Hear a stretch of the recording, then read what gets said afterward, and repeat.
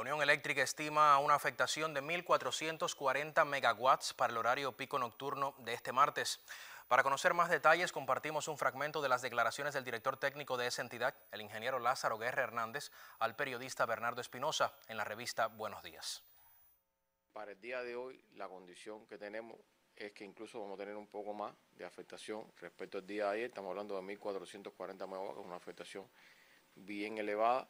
Tenemos 1.980 megawatts disponibles para la máxima demanda y 3.350 megawatts de máxima demanda pronosticada e incluso llegó a 3.400 la demanda en, el, en la hora de la, de la máxima demanda del sistema y en la mínima casi 2.700 megawatts de, demanda, quiere decir que las demandas están siendo bien elevadas a, todas horas del día, incluida la madrugada, y eso por supuesto también hace que con la baja disponibilidad que tenemos en la generación se incrementen las afectaciones de servicio.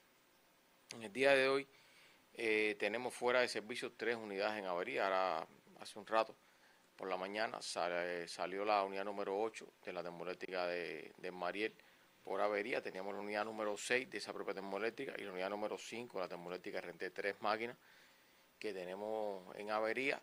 La unidad número 5 de renté hoy por la mañana, mañana tarde debe estar haciendo ya la prueba hidráulica, pero depende del resultado que tengamos en esa prueba hidráulica, eh, que la máquina se incorpore al sistema. No la estamos considerando, pero bueno, de salir bien esa prueba hidráulica, la unidad pudiera incorporarse al sistema. No estamos considerando para la máxima demanda, al igual que la termoeléctrica de la unidad número 6 de Mariel, que ya se va a trabajar en la mañana ahora, después hay que hacer prueba hidráulica y después, si los resultados son positivos, incorporarse.